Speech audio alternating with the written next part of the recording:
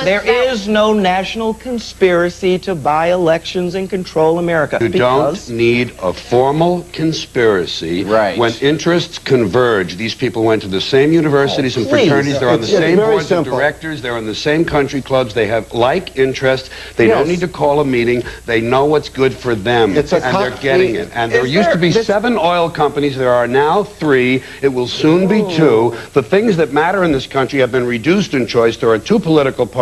There are a handful of insurance companies. There are about six or seven in- information things. But if you want a bagel, there are 23 flavors because you have the illusion. You have the illusion of choice. Right. Let's play a game. What game do you want to play? How about Monopoly? Well, by trademark, the definition of Monopoly is a board game in which players engage in simulated property and financial dealings using imitation money. But Monopoly as a noun is the exclusive possession or control of the supply of or trade in a commodity or service. Which one would you guys like to play? Well, you're in real life, so you're playing the noun version. And guess what? You can't win because you can't play. Who are the major players in this world? You ask. Wouldn't you like to know, broke boy? You can't even, you don't have billions. You don't, you think you have a say in what you get to eat, what you get to drink, what companies own this and what they're doing to the food and the chemicals? Coca-Cola, PepsiCo, P&G, Nestle, Kraft Heinz, Johnson & Johnson. Just a few companies that own everything. Wouldn't you like to own something? You can own your house, maybe. It's on a loan, paying it off in 35 years, if you can. But why do I say we live in a monopoly? Just by the example I gave you. Those companies own about anything that you could think of. And then you have companies like the ones who run the oil industry. For instance, Saudi Arabia.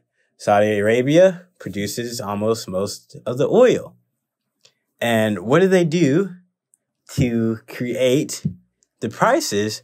They have almost an unlimited amount of oil, but what they do is they develop all these factories or oil factories and they shut some of them down because they produce too much oil and then they will produce 100 million barrels a year.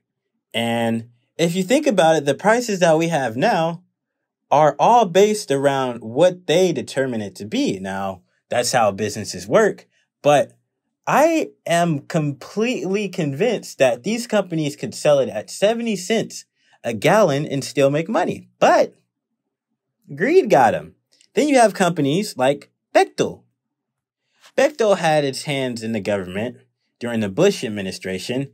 And when Bush heavily attacked Iraq and bombed their water production facilities, the Bush administration awarded Bechtel a $680 million contract to rebuild Iraq's water system. And you would think, okay, the next contract they give would be to another company. No, when you're monopolized, you get the next contract. And Bechtel loves water, so they got their hands in the privatization of the water in Bolivia. The government of Dictator Hugo Banzer promised that it would create better economic conditions for big companies in Bolivia. But part of this plan was privatizing the nation's water. And guess what happened? Bechtel was one of the front runners. And when greed hits the fan, individuals were pay- spending a quarter of their income on water. So for every dollar that they made, 25% went to the water bill. Then you have BlackRock, an investment company. What are they investing in? Everything. As of December, BlackRock manages more than 10 trillion in assets.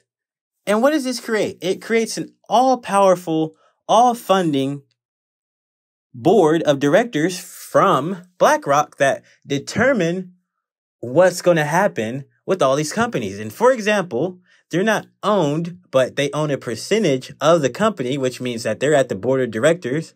The big B table, you know, little long table, suits on, quaaludes on the table, a little bit of nose candy, whatever they do, the rich people. I don't know.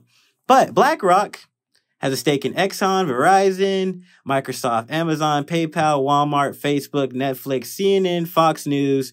Ooh, whoa, CNN, Fox News. Two competing news channels, but they have a stake in both. Controlled opposition. Uh oh.